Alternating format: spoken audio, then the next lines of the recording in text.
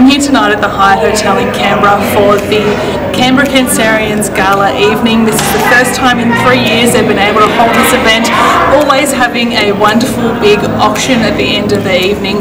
We've just managed to raise over $38,000 for the Canberra Cancerians and the Australian Cancer Research Foundation.